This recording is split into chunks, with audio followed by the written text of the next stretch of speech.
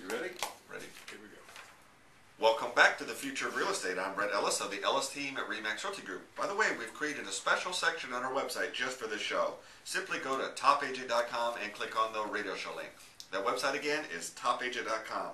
You can listen to past shows online, or you can always call us at 239 489 4042 and speak with any member of our team. The number again is 489 4042. Okay, with us today is special guest, the Honorable Lee County Property Appraiser, Ken Wilkinson. Been a pleasure having you on the first half hour. Uh, thanks for not walking out on us. There you go. I want to get to the, the good Still stuff. have time, don't I? I? you still have time. We What's got- that chain on your foot? that you Right, might not that be could- able could to be it. It's an hour show, and you wouldn't be the first to walk out. Um, let's see. So, what everyone probably wants to hear is what has tax, what has assessed values done Right. Well, uh, you know, in Lee County? everybody knows they're going down. Uh, No, no, not everybody. We go out No. on some listing appointments where I think there's a few That's people true, that that's still true. don't know. Yeah. Really? Yeah. Okay. I think it went up. well, you know, you'll always find uh, packets or areas where values will go up. It's true. Because, you know, they don't make any more waterfront, so you're going to find some, but the, the vast majority of, of uh, I don't But know, but the guy who 97%. replaced all his door hinges, all his handles, Yeah. all his lights, and you know, landscaped the place, some of those values went up. Right. When you have 605,000 in round numbers parcels every year, or at least this past year, you have to reappraise annually to market based on what the activity was buyers and sellers were doing before January 1st. So it's always interesting to see what areas, uh, how they respond in, in, the, in the market. And I think we've been recognized as ground zero, as we all know, for foreclosures and everything. And we know where the values were going up the fastest was North Cape, Lehigh. Well, that's where they're going to go down the fastest. We don't really actually have a dog in the fight, and a lot of people don't agree with or can't don't even believe me in that. Ours is a numbers game. We analyze the activity. In this year, historically, uh, because I can't go back further than the Depression, we know that overall, on the average, and I don't like averages, but that's the way it is, the overall county's value went down over 25% market value.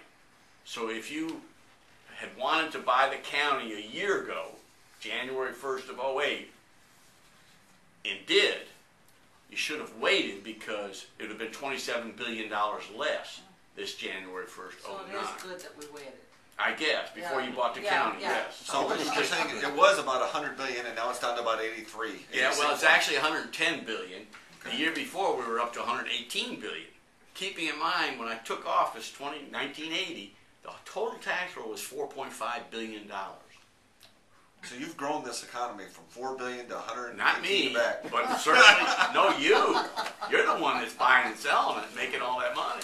Well, Well, Ken, you were talking I about get it. We averages. spent it all. Yeah, yeah, I understand. You were talking about averages for Yes. the total county, but there's segments of the county that varies much uh, greatly from Oh, sure. other segments.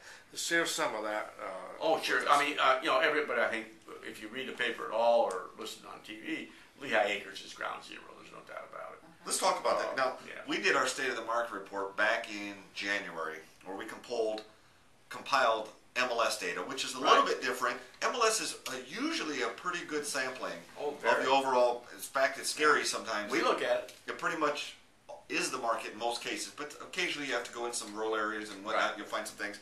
But we had Lehigh Acres down in median value, forty-nine point eight one percent.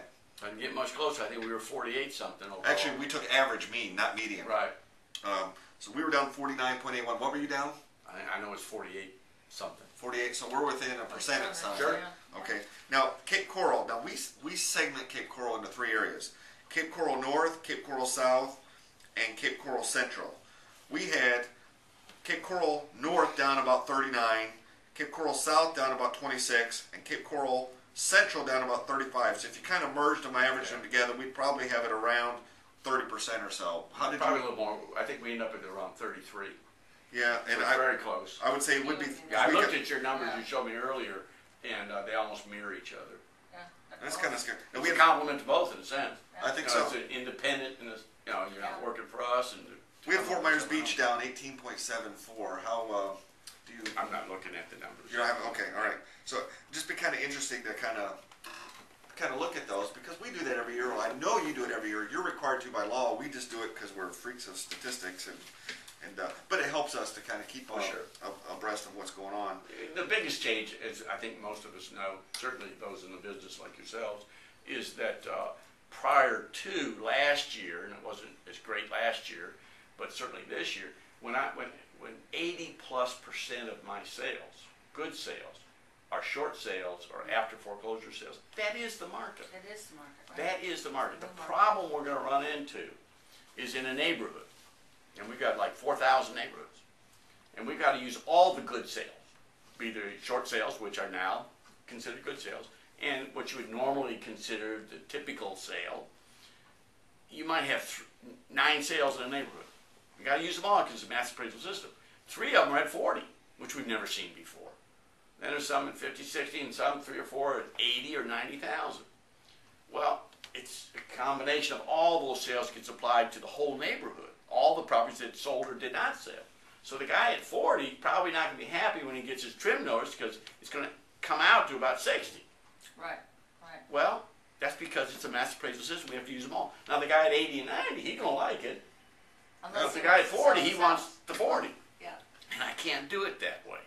The other thing is you're always doing. You can't cherry pick, is I guess what I'm saying. You mm. have to use all the sales, all the good sales, and then you apply it across the neighborhood.